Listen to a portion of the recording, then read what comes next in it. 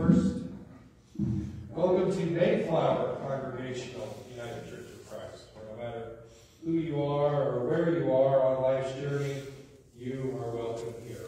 We are an open and affirming LGBTQAI affirming church in Sioux City, where we offer an extravagant welcome. It's right on the floor mat. You can inside the sanctuary. We will begin this morning uh, with some announcements. Have quite a few. The first one is from the Sioux City Community Schools, and they sent us a card today uh, thanking us for our donation of hats and gloves, and they greatly appreciate it and all of the efforts that, that, that all of our, your efforts do not go unseen. That's a nice card we got from them on their soccer two-week program. Um, and this from Bob, prayer request. Pray for Karen Campbell Nelson, our Global Ministries mission co-worker. She is serving with the Evangelical Christian Church of West Timor in Indonesia with rural populations there scattered over thousands of islands. They're experiencing the crippling impact of COVID since there's limited access to vaccines. On top of that, a cyclone last year left the church and homes, buildings damaged and destroyed. The emergency response team from that evangelical church denomination provided some assistance to congregations in their remote areas. So definitely keep them in our thoughts and prayers.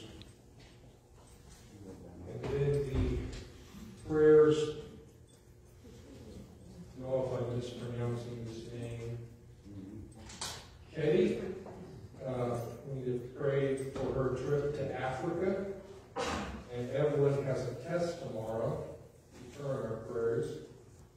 And Lorena for her unborn baby, Isabel. Some other announcements. Um, I am Pastor Jessie Lent. I am the pastor of this church. Uh, Children's Sunday School is at 9:45 every Sunday. Our in-person and virtual worship is on Facebook on Sundays at 11. And the adult Zoom Bible study group, uh, led by Bob, meets at 2 p.m. on Zoom. And if you need more information about that, you can get in touch with Bob Fritzmeyer. Uh, some other prayer concerns. Um, we've had a couple of members of our congregation that tested positive for COVID. Um, Conrad uh, was uh, diagnosed either Tuesday or Wednesday. He is at home recovering, and we need to keep him in our prayers. Uh, Lucinda tested negative, so it was just uh, Conrad. And then um, Thursday, uh, Kathy, who normally plays the piano for us, has tested. Violin. What did I just say? Yeah. I'm sorry, Violet tested uh, positive for COVID. Um, we were all fairly, we, we were in a group of pub theology, so of course pub theology is canceled. So we all had contact with one another. So I myself was also tested, and I tested negative. Thank goodness, otherwise I wouldn't be here. Um, so Kathy, Conrad, uh, keep in our prayers. Uh, Raymond, we're glad to, to have him back. He has just recovered. And, uh, Yes. yes, bless him. I would like, I would like to have, uh, some prayers for my landlord and his wife, uh, Michael Fox and his wife Tricia, she's in the hospital in Omaha right now, dying of cancer. And, uh, Okay. I have to ask for her to bring them to peace. Definitely. Any other announcements, prayers?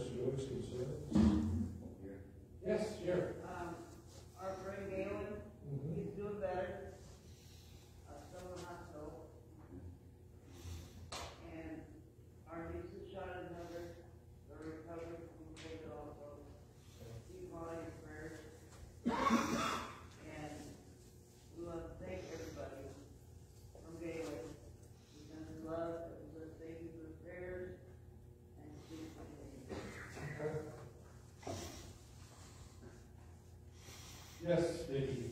Uh, my friend Karen, uh, she has been transferred from the hospital to a care facility now so that she can rehab and recover from the car accident that she had a couple weeks ago. Yes.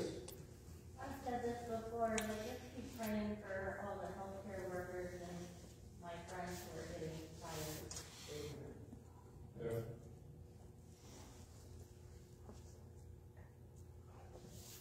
Yes. All right. We will begin with the And our tradition at Mayflower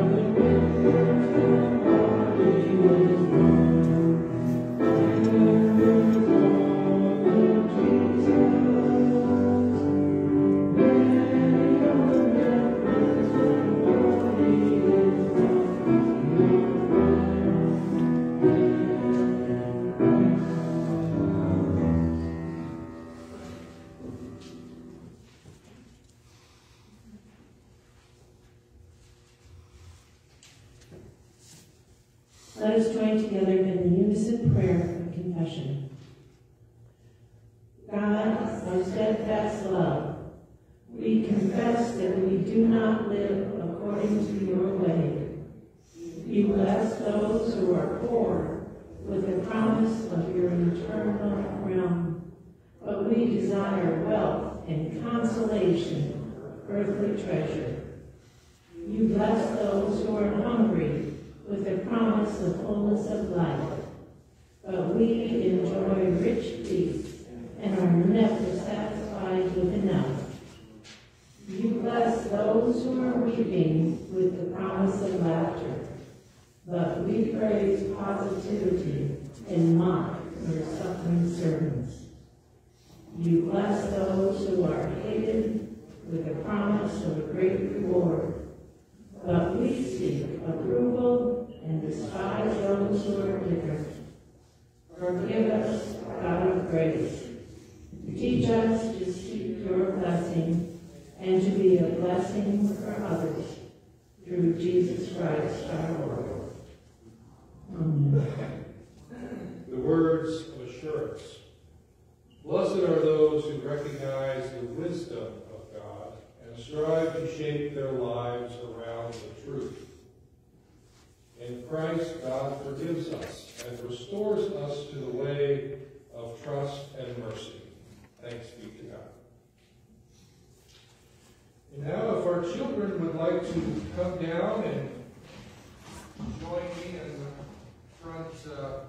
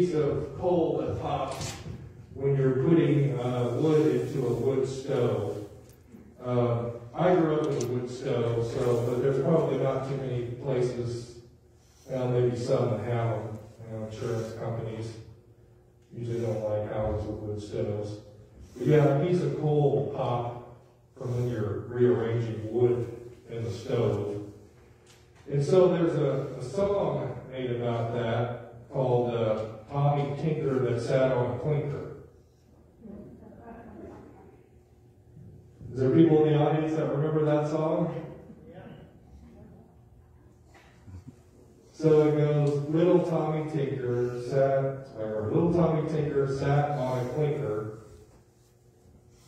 and um, and he says, "Mom, mom," and then um, mom says, uh, "Poor little innocent guy." So the connection with that is Jesus in our scripture passage about the Beatitudes gives eight blessings.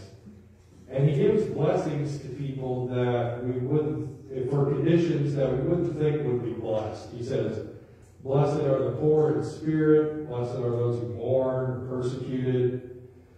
And so it's hard for us to understand how could you be blessed when you're in, you know, that type of uh, situation.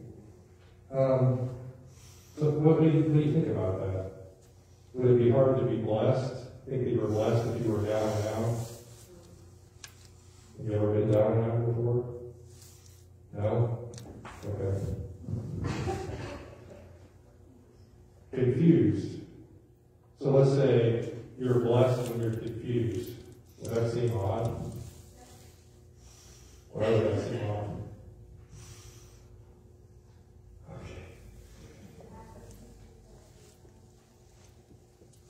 So, one way we could look at being blessed, why you would be blessed, you know, if you were sitting on a coal, like poor Tommy, or the innocent guy, is that our bodies have a pain response. And yeah, we don't like things that are painful.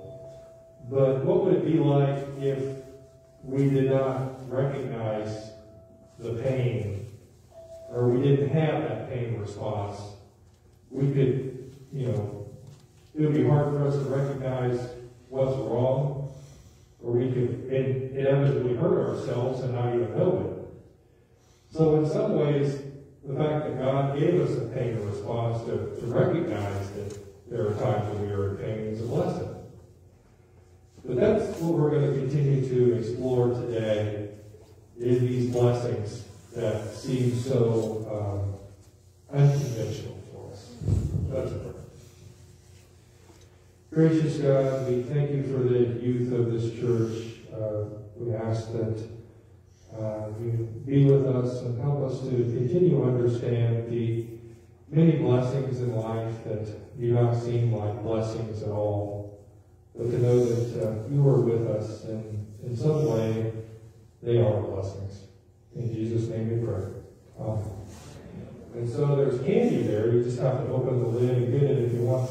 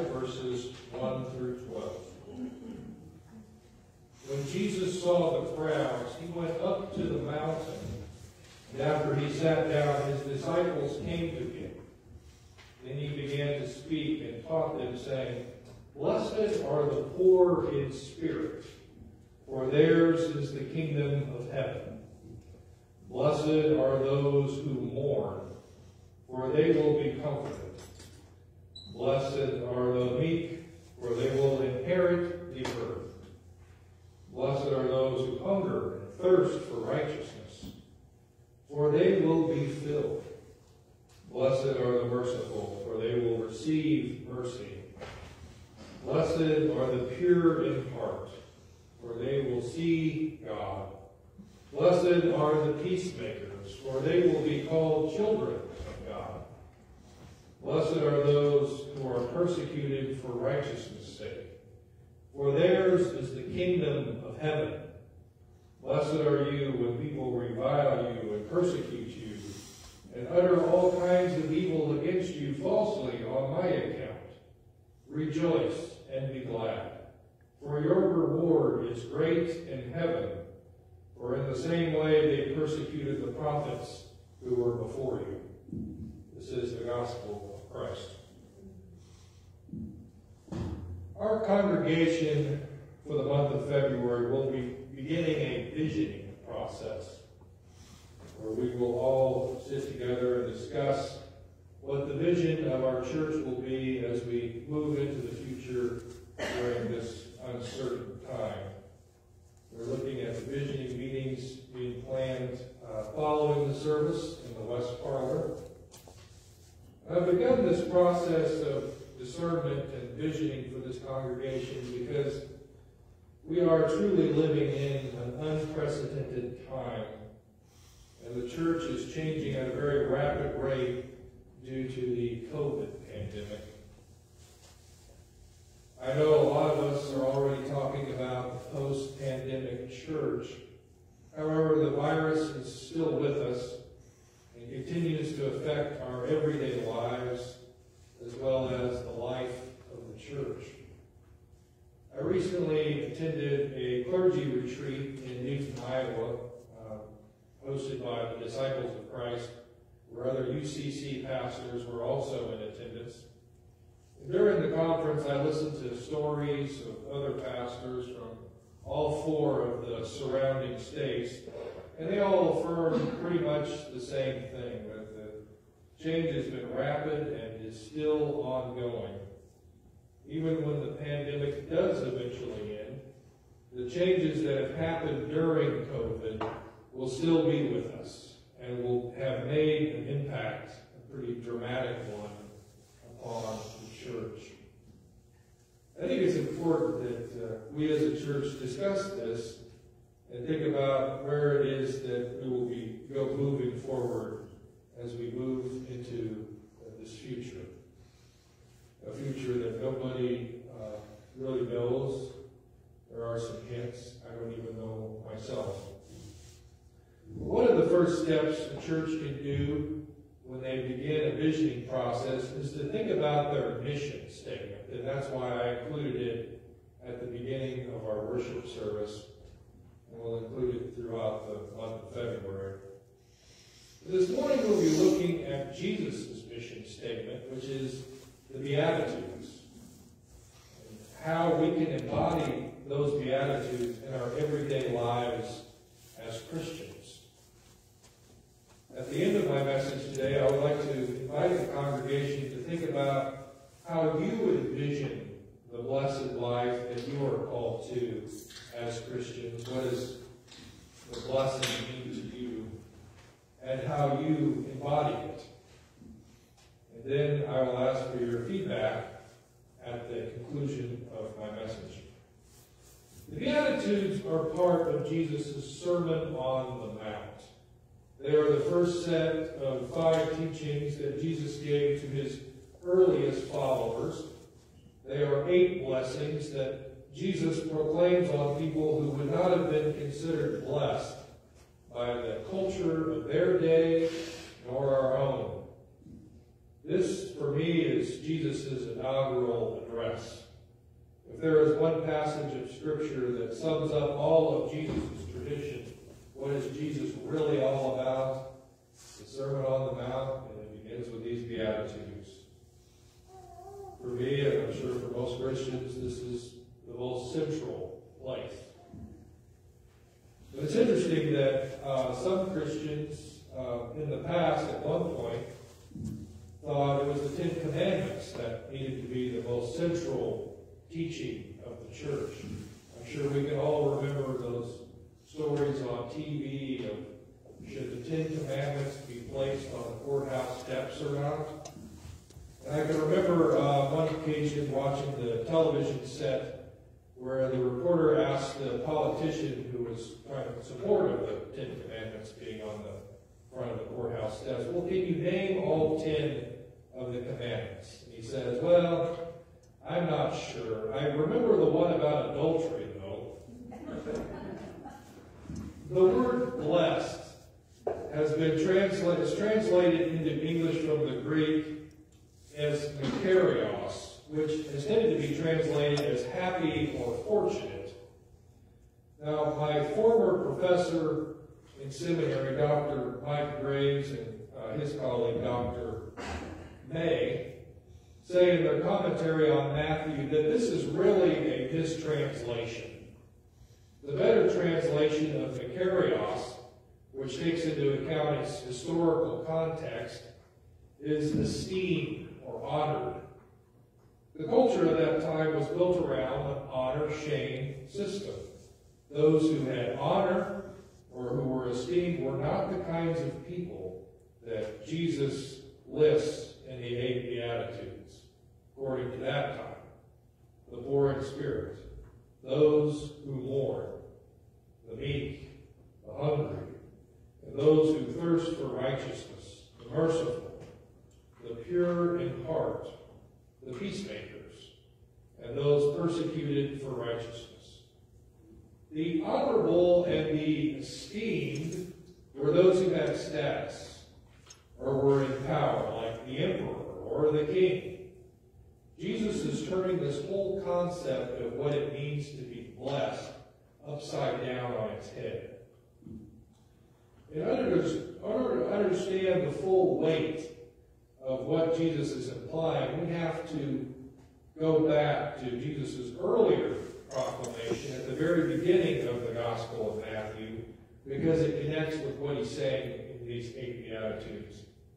So at the beginning of Matthew, his first proclamation, Jesus says, from that time, Jesus says, from that time Jesus began to proclaim, repent, for the kingdom of heaven has come near. UCC pastor Dr. Eric Ellis points out that this too is an unfortunate mistranslation of the original Greek. He knows that the passage should read like this The kingdom of heaven, in Matthew, or God, Mark, is already here. Change your whole way of thinking and believe in the good news. The word for repentance in Greek, which is metanoia, which means a complete and total reorientation towards life. And the Greek word for drawing near means that it's a past event that continues to have ongoing significance in the present. It's not a future event that hasn't happened yet. So when Jesus says that the kingdom of heaven is theirs in the Beatitudes, and then in his opening declaration says that it's going on right now, this causes us to have to completely reevaluate what heaven is, or at least this portion of heaven here on earth. You can kind of understand, well, some of his followers or people that were with him got a little upset possibly when he said this, because well, how can that be? There's still suffering, heartache, pain. Everything is in the world as it was before. The emperor is still in charge. But it connects with the Lord's Prayer. We make this proclamation every Sunday. Thy will be done on earth as it is in heaven. We tend to think of heaven as a place, uh, as an absence of suffering and pain. However, Jesus, it seems to me, is saying that heaven is discovered or found in the midst of pain, hardship, and suffering. During the retreat, uh, we watched a documentary called Justice for Bryan Stevenson. It was an HBO documentary. And uh, it was part of our requirement to fulfill our anti-racism and pro-reconciliation class that we take every three years as ministers. And when I viewed the film with my minister colleagues, I felt that it really demonstrated what it looks like to embody the Beatitudes of Jesus. Bryan Stevenson was an African American defense lawyer who had been defending death penalty clients all the way up to the Supreme Court. Several of the cases that he argued at the Supreme Court had resulted in the death penalty being prohibited for youthful offenders as well as those who had severe learning or intellectual disabilities. Bryan grew up in the segregated South. His first memories as a child was swimming in the community swimming pool, not knowing that's where he wasn't supposed to be. Seeing all of the adult white parents rushing to the pool to snatch their children out of the pool because they were in the same pool as an African American child. As he remembers this experience, he remembers an older white man standing over him saying, You're wrong. And he calls him the N word. It was what happened towards the end of the film, though, that caught my attention. He had, defend, had been defending a death row client that had severe mental and intellectual disabilities, and he was scheduled to be executed. The client appeals, appeals had failed. He filed for consideration by the U.S. Supreme Court, and it was turned down. The client called him one last time, letting him know that he knew he was going to die, and began to cry. It was at this time Stevenson said, I can't do this anymore.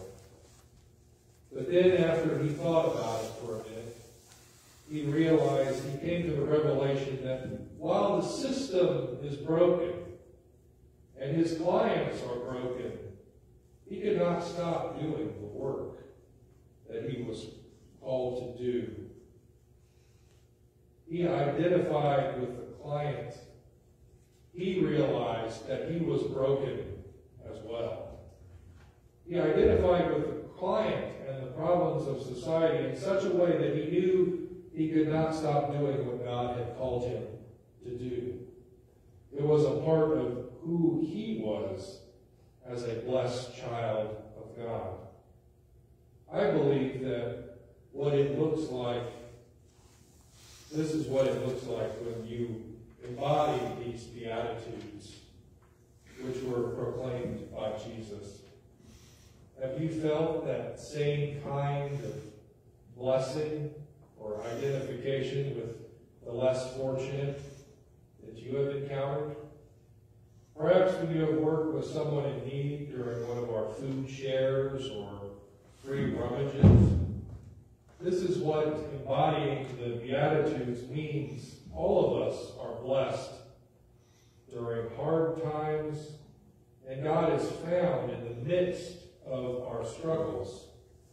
When we identify with that struggle and work alongside of others who are going through the same thing, God is found in the midst of that. This is where we find a blessed life. Amen. And now I would like for each of you to just take a few minutes and ponder the question I raised at the beginning of, of my message. How do you envision the blessed life that we are called to as Christians?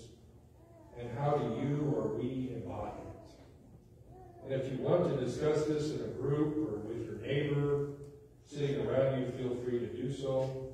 So let's just take a couple of minutes and then we'll uh, come back and uh, hear what your responses are.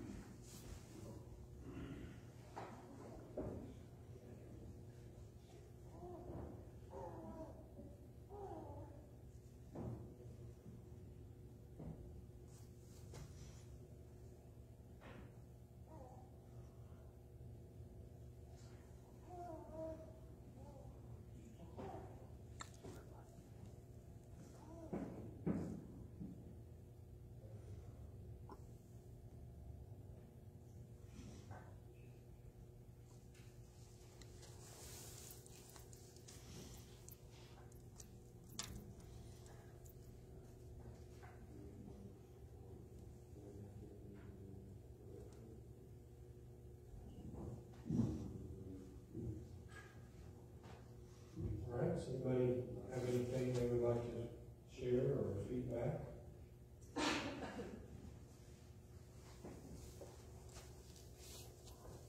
Yes.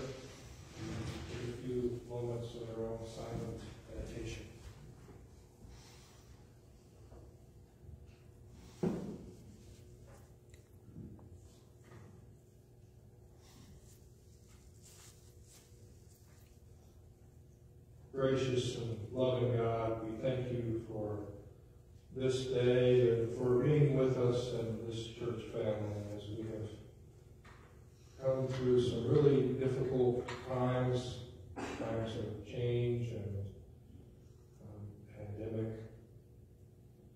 We ask that you continue to be with us as we discern the future of our church. But we know, God, that you are already active in and amongst us and in our communities. Just help us to see that acting that you're doing in your Holy Spirit. Lord, we lift up all of the healthcare workers who are tired and stressed from all of the work, from dealing with the pandemic. Ask that you be with them and give them encouragement, blessing, that the life that the vocation that they are doing is modeling what you modeled to us through your Sermon on the Mount and those Beatitudes. Blessing the poor in spirit. Lord, we lift up Michael, his wife, Trudy Cole, Karen. Lift up to you Conrad and Kathy, Sean, Heather, Galen. Lord, we lift up to you Linda, who had a pinched nerve from a fall. We ask that your peace and healing presence be with her as she recovers. Lord, we, we just ask that you help to hold us all together because we all at times are broken and need to remember that somehow in this brokenness, blessings are found. Now, in a moment of silence, I invite those who are with us today to say the names of those out loud that are in their prayers this day, either out loud or silently in their hearts. John, Heather, Galen,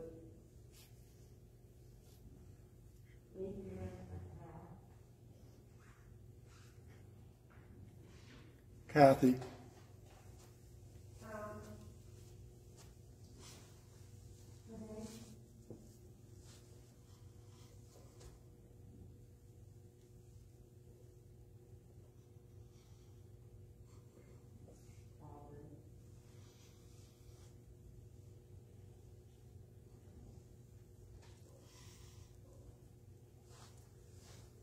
Now let us pray together the prayer that you taught your earliest disciples to pray, whatever words are comfortable for you, by boldly saying, Our Father,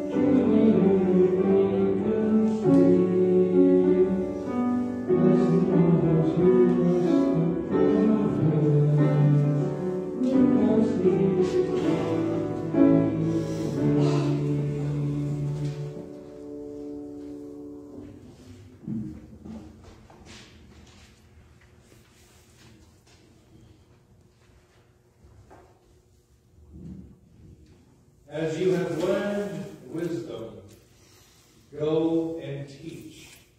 As you have been fed,